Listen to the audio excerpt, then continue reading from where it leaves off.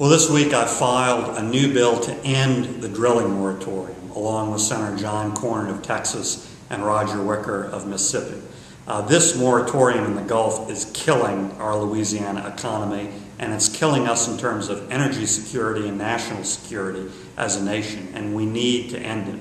It will cost us far more jobs in Louisiana if it continues, if it stands, than the oil spill itself. So we're going to push forward this fight and do absolutely whatever we can to try to end this moratorium as soon as possible, which is costing so many good Louisiana jobs.